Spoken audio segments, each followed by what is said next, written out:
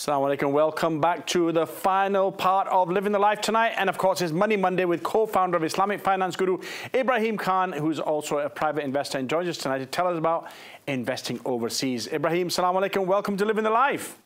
Wa alaikum assalam wa rahmatullahi wa barakatuh. Have, you, have you had a great weekend? Were you, were you in, the, in the garden this weekend? Um, what was I doing? I think I was shopping mainly. online, online. Well, listen, tell us, I mean, if, if I want to, well, why do people want to invest internationally in the first place?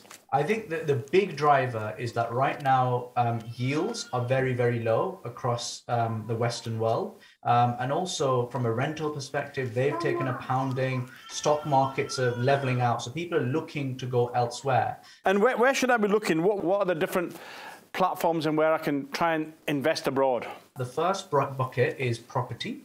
Um, because that's nice and safe generally because you've got some kind of asset backing. Because with stock markets, you can diversify across a range of different um, stocks, and also you can um, you can start you know making sure that you're going into investments and companies that are relatively large scale. Any list of countries that I should be looking at?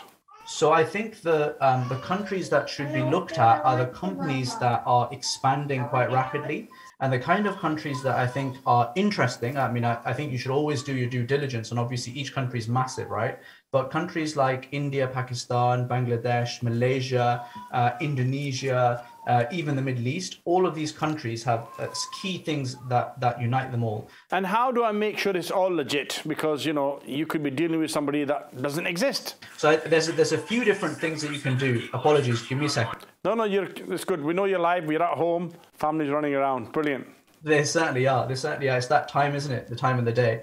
Looking at these kind of investments, where should people yeah. be going?